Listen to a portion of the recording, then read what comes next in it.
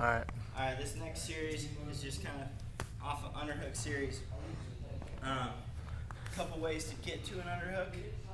Um, just a refreshment. I kind of like the club underhook. That's a, just a real common thing to get to the underhook.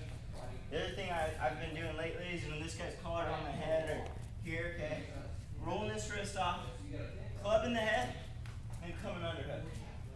When I come underhook, I really want to emphasize shooting this hand up right here. Boom. Up. It's not, it, it can be over the shoulder, but my elbow's got to be high. Here, okay? And I'm going to come to a couple different shots.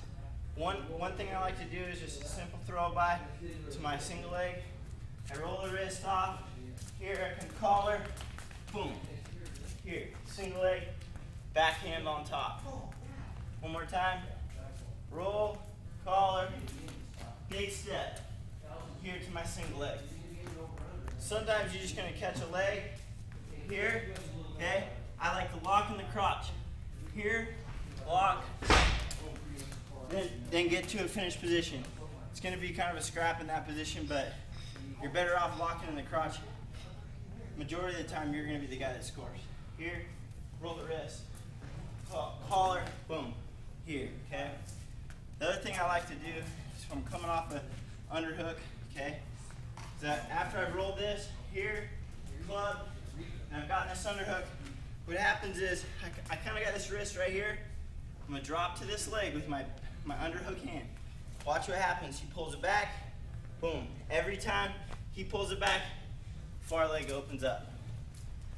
I'm underhook, here, come here, he pulls this back, far leg opens up, I'm gonna run cross body.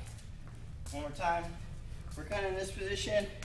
In this position, I drop to single leg, he drops it back, boom.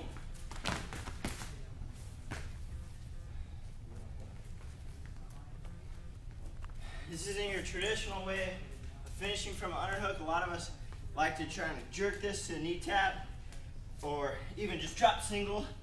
But what happens a lot of times when we drop this arm, he pulls that leg back here. Okay, when he pulls it back, we're just gonna run double.